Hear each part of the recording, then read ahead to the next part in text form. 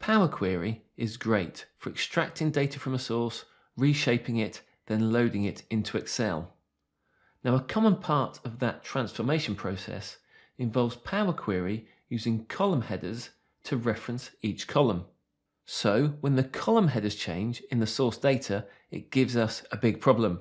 Recently, my friend Celia Alves released a YouTube video giving her solution to this common problem. There's so much good stuff in that video showing how to use M code formulas and list techniques. You should definitely check it out, and there's a link in the descriptions box below. But as I was watching that video, I thought this isn't the way that I solve that problem. So I wanted to share with you two other ways that you can rename columns in Power Query even when the column names change. Celia's approach and my two approaches here are all different. So in the interest of learning, I thought it would be good to share all these techniques. If you want to work along with this video, you can find a link in the descriptions box of where to find the support files. So once you've done that, if you're ready, let's get started. So here's the file that we're going to build our Power Query solution on. It has a number of fixed columns, and the three columns at the end give us the sales data for the previous three weeks. Okay, let's load this data into Power Query. So here I have a blank Excel workbook. I'll select Data, Get Data, From File, From Workbook. Then navigate to the place where the sample data is, select that, and click Import. The Navigator window opens up.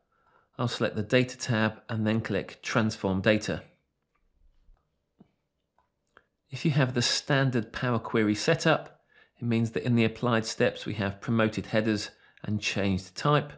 the moment we don't need either of those, so we'll click on the crosses to delete those. Okay, let's clean up our data. So the first thing we want to do is to remove the top three rows.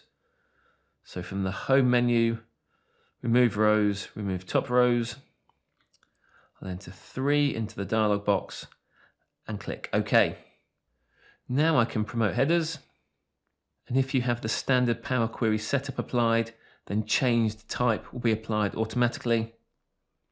If not, select all the columns, go to transform, and then go to detect data type.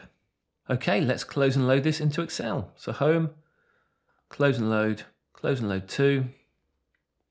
I'll select the table in the existing worksheet in cell A1 and click OK. Perfect, everything worked fine. However, the issue comes the next week when we receive a new file. So I'll just rename my files.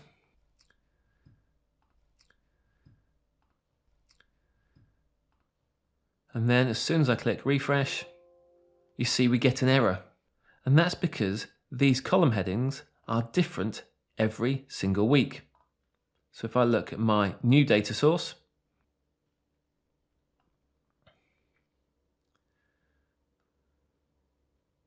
So in the new data source, we have sales of the 3rd of January, the 27th of December, and the 20th of December. But in the original data source, we had the 27th of December, the 20th of December, and the 13th of December. So I'll close that. Let's go back into our query. I'll select View and click Advanced Editor. And here you can see where the problem is. It's in the changed type step because it references each of those columns by their name. So let's find a way of getting around this. I'll click cancel on that and I'll delete the changed type step. Let's start with solution number one, which just uses the standard Power Query user interface. Now the first thing I'm going to do is to unpivot the columns. So I will select the columns where the name doesn't change. I'll go to transform, unpivot columns, unpivot other columns. Okay, now let's add an index column. So add column, index column, will go from zero. Now here comes the interesting part. With the index column selected, I can go to transform, standard, and then apply a modulo. This calculates the remainder of dividing each number in the selected column by a specified value. We had three columns that we needed to rename, so I will enter 3 into that box there and then click OK. We no longer need the attribute column that was created during the unpivot process. So I press delete on that. Then I will select the index column and pivot that column. And the values column is the value column because that's the one that contains the numbers. I'll click OK on that. I now have three columns numbered 0, 1 and 2. So I can easily rename those.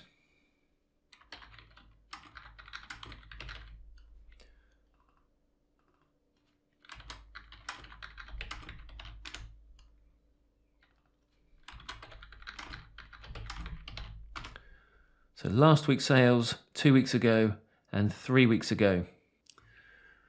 Now I can select my columns, detect data types, home, and we'll load that back into Excel. And as you can see, that error has now gone. It's loaded that data correctly. If we look at the advanced editor window, you'll notice that in all of that code, there is no reference to the original column headings.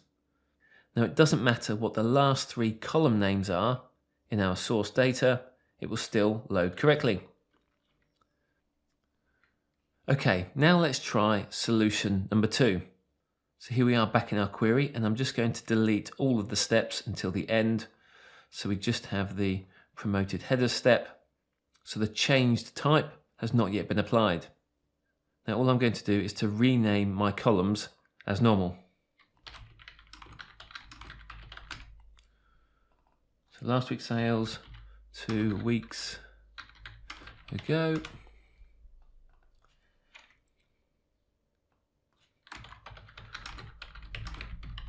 And three weeks ago. Now, hopefully you've got the formula bar visible. If not, come up to the view ribbon and click formula bar. As you can see in this formula, it references the specific column names. But if we could reference those columns by position, that would mean we wouldn't need to use the column names. So let's try that. I'll click in there, delete the name of the column, and I'm going to use the function table column names.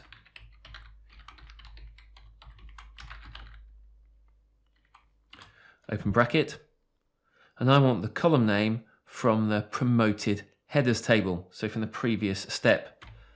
So hash, and then in double quotes, I can select promoted headers from the IntelliSense, and then I just want column six, and that's in curly brackets. Now, why is it column six? Because Power Query starts counting from zero, so column zero, column one, column 2, column 3, column 4, column 5. So last week's sales is column 6.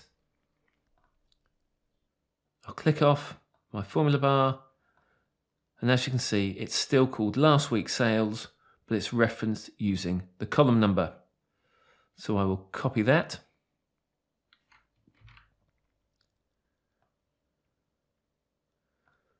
Over the top of one of the other column headers that's column 7.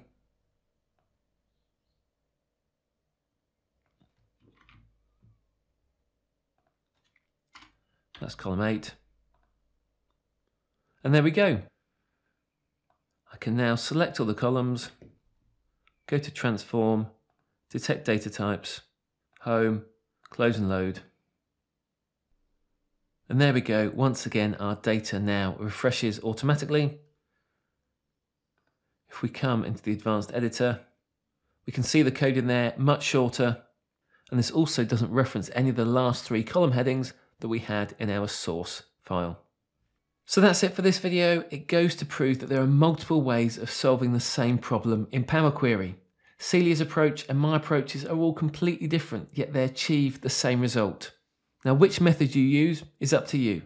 But in the process of comparing these three approaches, I hope you've learned a lot about the techniques and the methods that we can use inside Power Query to solve problems.